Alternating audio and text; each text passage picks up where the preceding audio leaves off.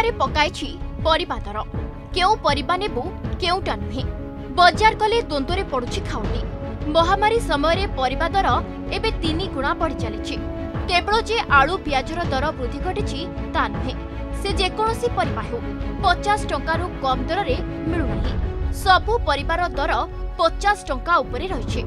ଆଳୁ ପଇଁତିରିଶ ଟଙ୍କା ଥିବାବେଳେ ପିଆଜ ଦର ପଇଁଚାଳିଶରୁ ପଚାଶ ଟଙ୍କା ରହିଛି। ଅନ୍ୟ ପରିବା କଥା ତ ଛାଡ଼ନ୍ତୁ। ଗୋଟିଏ ପଟେ କରୋନା ଅନ୍ୟପଟେ ପରିବା ଦର ବୃଦ୍ଧି।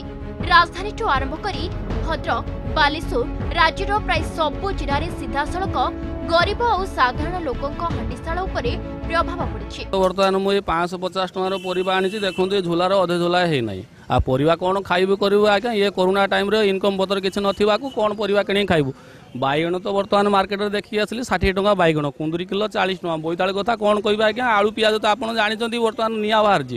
ଯାହାକି କିଲେ ପରିବା ଆଗରୁ ଆମେ ନେଉଥିଲେ ଆମେ ଚାରି ପାଞ୍ଚ ଜଣ ଖାଉଥିଲୁ ବର୍ତ୍ତମାନ ଶହେ ଗ୍ରାମ ନେବା ପାଇଁ ସେତିକି ପଇସା ବି ହେଉନାହିଁ। ରେଟ୍ ତ ଏଇ ଷାଠିଏ ଟଙ୍କା ସତୁରି ଟଙ୍କା ଏମିତିଆ ରେଟ୍ ହୁଁ ବହୁତ ବହୁତ ମାନେ ଜଟିଳ ଅବସ୍ଥା ଆଉ ଗରିବ ଲୋକ ପାଇଁ ବହୁତ ଅସୁବିଧା ଆଗେ ତ ଟିକେ ରେଟ୍ କମ୍ ଥିଲା ଏବେ ତ ପ୍ରଚୁର ରେଟ୍ ହାତ ମାଡ଼ି ହେଉନି ପରିବାରେ ବଜାରରେ ବାଇଗଣ ଦର ସତୁରି ଟଙ୍କା କଲରା ଷାଠିଏ ଟଙ୍କା କାକୁଡି ପଚାଶ ଟଙ୍କା ପୋଟଳ ସତୁରି ଟଙ୍କା ଟମାଟୋ ଷାଠିଏ ଟଙ୍କା ଭେଣ୍ଡି ପଚାଶ ଟଙ୍କା ଏବଂ କୁନ୍ଦୁରି କିଲୋ ଚାଳିଶ ଟଙ୍କା ଦରରେ ବିକ୍ରି ହେଉଛି ଯାହାକୁ ନେଇ ଗରିବ ଆଉ ମଧ୍ୟବିତ୍ତ ଶ୍ରେଣୀର ଲୋକମାନେ ଅଧିକ ପ୍ରଭାବିତ ହେଉଛନ୍ତି ମହାମାରୀରେ ଲଘୁଚାପ ବର୍ଷା ସହ ବନ୍ୟା ସମସ୍ତ ପରିବା ଚାଷୀଙ୍କ ଫସଲ ଉଜାଡ଼ି ଦେଇଛି ଫଳରେ ପରିବା ଦର ବଢ଼ିବାରେ ଲାଗିଛି ବୋଲି କହିଛନ୍ତି ପରିବା ବ୍ୟବସାୟୀ। ପରିବା ରେଟ୍ ତ କହିନେ ସରିବନି।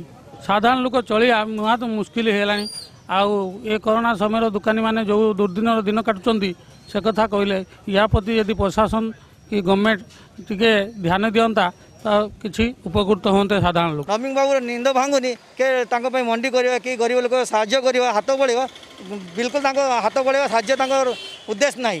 যেহেতু আম এইটি আমার জেলাপাল বি অনেক সে বি দেখুম সবু রেট মানে বিভিন্ন প্রকার পরিবার রেট অছি যে রেটটা অছি পরিবার লোক গরিব লোক খাইব কম বচিব কেমি গোটে ঠেলা টাণি লোক খাইব কেমি গোটে অটো চলাইয়া লোক আজকাল পেট্রোল ডিজেল দর এইভাবে বড়ছে লোক গোটে প্যাসেঞ্জরকে নিয়ে যাওয়া দশ টাকা কোড়ি টাকা লোক যাও না সে চলবে কমিটি কহিবাকু গেলে বর্তমান যেভাবে হিসাবে বর্ষা বাধাপ্রাপ্ত করুছি ତେଣୁ ଚାଷୀମାନେ ଯେଉଁମାନେ ଚାଷ କରିଥିଲେ ସେମାନଙ୍କର ଯେତେବେଳେ ଫସଲ ନଷ୍ଟ ହୋଇଯାଇଛି ତେଣୁ କମ୍ ପରିମାଣରେ ତା ଚାଷୀମାନଙ୍କର ବାହାରୁଛି।